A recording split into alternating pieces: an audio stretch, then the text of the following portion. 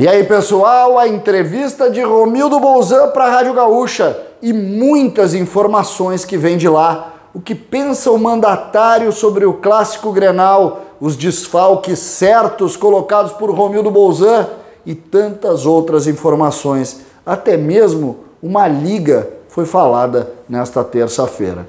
César Cidade Dias falando de Grêmio aqui no YouTube, papo de gremista para gremista. O presidente Romildo Bolzan concedeu uma longa entrevista para a Rádio Gaúcha na noite desta terça-feira. E muitas informações saíram dali. Eu colhi alguns pontos que me pareceram muito importantes para a gente analisar neste espaço. O primeiro deles diz respeito ao anímico. O Grêmio e a forma como o Grêmio vai trabalhar o Grenal. E o que pensa Romildo Bolzan dessa ideia. Jogar por um prato, um prato de comida, jogar o jogo da vida. O Grenal da última quarta-feira machucou muito o ambiente do Grêmio. Modificou inclusive o status de avaliação do trabalho. E Romildo Bolzan dá exatamente este espaço a essa discussão. Quando fala em jogo da vida, quando fala no confronto para jogar por um prato de comida, o presidente dá um recado. Por quê? Porque mostra muita incomodação a forma como o Grêmio esteve naquela partida, o apático primeiro tempo e a derrota que foi de fato muito dura para o Grêmio. O Grêmio vai ser um time diferente e o presidente Romildo já indicou isso. Falou inclusive que esteve no treinamento e nestes treinamentos que esteve, viu diferenças anímicas, técnicas e táticas. O presidente Romildo Bolzan está acompanhando de dentro do vestiário toda a movimentação do Grêmio visando o Grenal. É preciso sempre que a gente posicione isso, porque o momento do Grêmio é um momento de tamanha instabilidade que o Grenal pode trazer tranquilidade. E trazendo tranquilidade, o Grêmio estaria hoje num outro estágio, me parece. Se o Grêmio conseguir passar pelos Grenais mostrando qualidade e classificação, o Grêmio vai estar mais forte para o que vem pela frente. E é neste ponto que eu acho importante que a gente reflita. Por quê? Porque normalmente o presidente do Grêmio, ele não vai tanto para o confronto. Ele não vai tanto. Ele, de alguma forma, faz essa palavra dele, muito bom de comunicação, uma palavra mais macia, mas não vai. Mas dessa vez, prato de comida, prato de comida e jogo da vida, isso é muito forte. Muito forte. Principalmente vindo do presidente, que também, mais uma vez, falou da sua candidatura ao governo do estado algo que tem tomado conta de muitas notícias. O presidente uh, se mostrou incomodado pelo fato de nunca ligarem para ele quando noticiam. Lembrando, este espaço aqui já falou muitas vezes das negativas e mais negativas e mais negativas do presidente quando o assunto é candidatura à presidência do Grêmio. Uh, presidência não, ao governo do Estado. Presidente do Grêmio ele é ao governo do estado. Ele mais uma vez disse: não, o pensamento é no Grêmio. A meta e a missão desse ano é recuperar o Grêmio.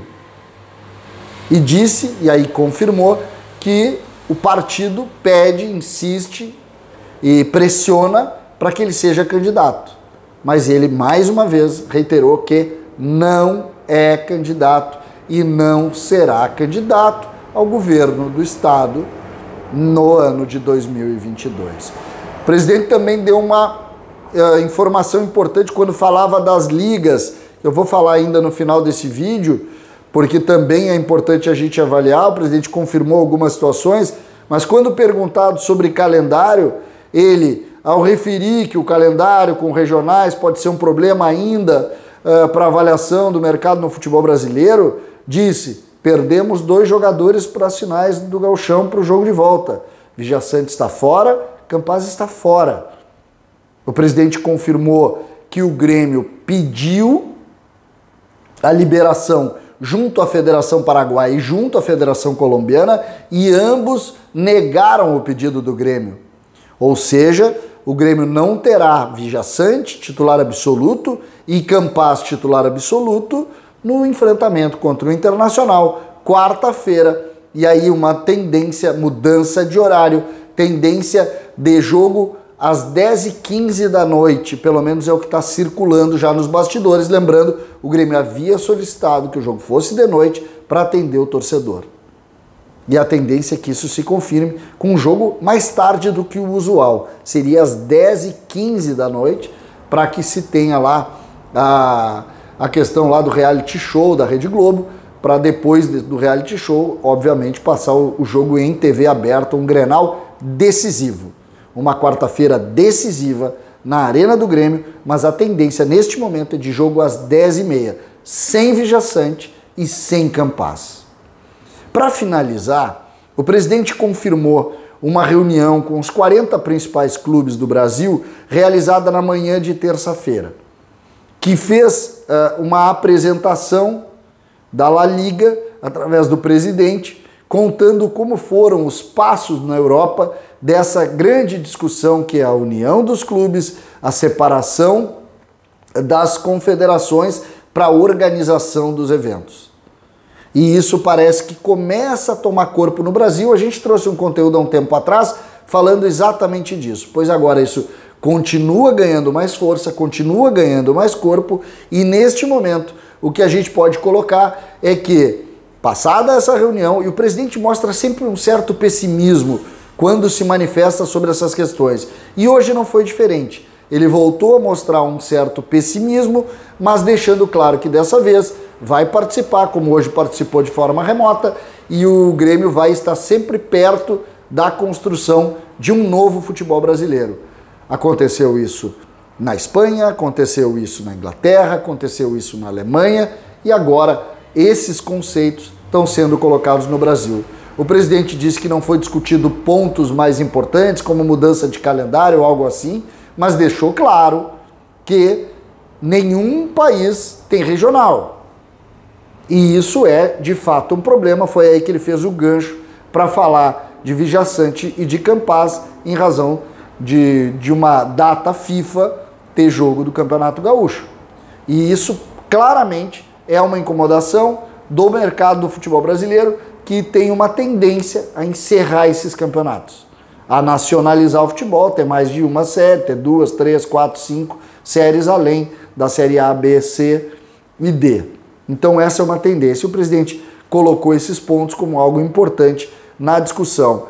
O jogo da vida, o jogo da vida, jogar por um prato de comida, foi o ponto principal do que disse Romildo Bolzan, Rádio Gaúcha, na noite desta terça-feira. César Cidade Dias falando de Grêmio aqui no YouTube.